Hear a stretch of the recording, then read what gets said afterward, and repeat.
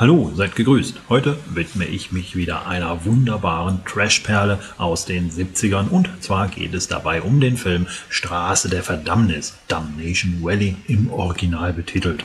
Straße der Verdammnis beruht auf einem Roman von Roger Zelazny und war 1977 von 20th Century Fox als großer Blockbuster geplant. Da sich seinerzeit die Arbeiten am Film aber immer weiter in die Länge zogen, beschloss man bei 20th Century Fox, sich erst einmal auf einen anderen Science-Fiction-Film zu konzentrieren. Auch wenn man in diesen keine große Hoffnung setzte, so wie es eigentlich bei Straße der Verdammnis der Fall war. Aber wenn man schon zwei Science-Fiction-Filme in der Mache hat und irgendwas ins Kino bringen will, warum dann nicht die Notlösung auswählen? Vielleicht kennen einige von euch ja sogar noch diesen anderen Science-Fiction-Film welcher damals dann unter dem Titel Krieg der Sterne in die Kinos kam. Nun, dieser Science-Fiction-Film ist natürlich längst vergessen, nicht aber der große Blockbuster Straße der Verdammnis. Äh, Moment, ich bewege mich da wohl gerade in einem verdrehten Paralleluniversum. Nun, Straße der Verdammnis hier in diesem wunderschönen Digipack, welches leider ein wenig einknickte, genauso wie der Film selbst, der heute schon fast in Vergessenheit geraten ist und im Grunde nur noch bei einigen Fans auf große Liebe stößt. Zu diesem zähle auch ich mich, der ich den Film damals sogar mehrmals im Kino sehen konnte. Aber worum geht es überhaupt bei Damnation Valley? Lieutenant Tanner und Major Denton tun ihren Dienst in einem Raketensilo, als plötzlich der dritte Weltkrieg ausbricht und auch sie alle Nuklearraketen auf ihre Reise schicken.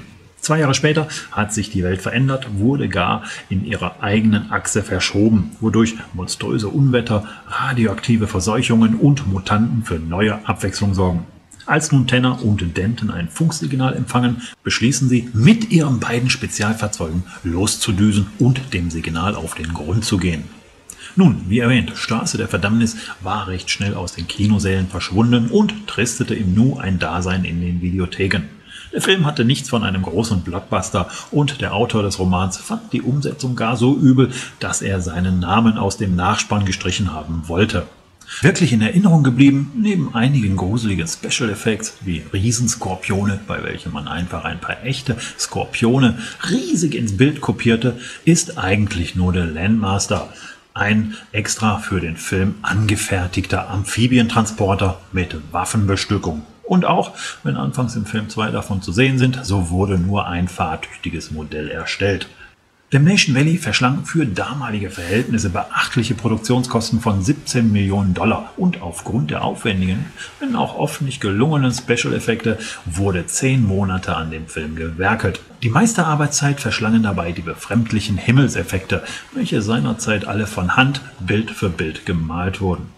Anfänglich versuchte man gar noch den großen Steve McQueen für den Film zu gewinnen, doch seine Honorarvorstellungen von 2 Millionen Dollar waren den Verantwortlichen damals einfach zu viel. Stattdessen sitzen nun John Michael Vincent, George Peppard wie auch Dominic Sender im Landmaster und rocken durch die Wüste.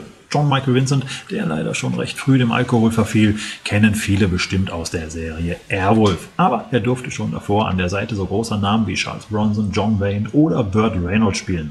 Auch George Peppard dürfte vielen bekannt sein durch seine Rolle in der Original A-Team-Serie. Und Filmkenner kennen ihn natürlich aus Filmen wie Frühstück bei Tiffany, Das war der Wilde Westen, Sader und, und, und. Dominic Sender spielt unter anderem an der Seite von Paul Newman in der Macintosh Man. Ansonsten sah man sie hauptsächlich in französischen und italienischen Filmen.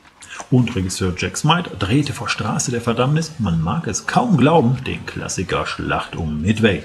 Zehn Jahre nach Straße der Verdammnis zog er sich aber dann vom Regiestuhl zurück. Zur Blu-ray-Umsetzung noch kurz. Da haben wir ein recht schlichtes Menü ohne Hintergrundmusik, dafür aber ein paar netten Extras mit diversen Hintergrundinfos zum Film und dem coolen Fahrzeug darin. Blöde nur, dass man nach jedem Extra wieder auf der Startseite landet und sich wieder von dort zur Übersicht der Extra durchklicken darf.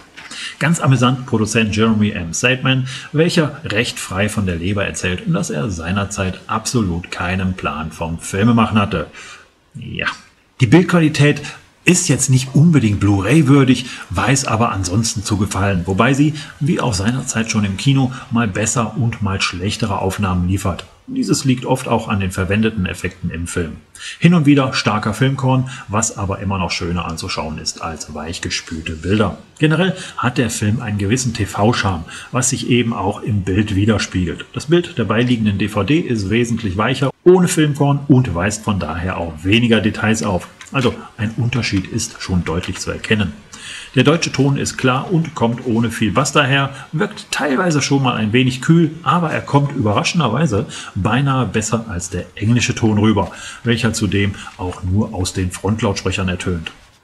Aber gut, wie schon erwähnt, ich mag den Film einfach, da er einen gewissen Charme und auch Unterhaltungswert beinhaltet. Natürlich wirkt vieles heute extrem billig, aber das tat es zum Teil damals auch schon und von daher ist das vollkommen okay für mich. Ja. In diesem Sinne, macht's gut, bis die Tage und ciao.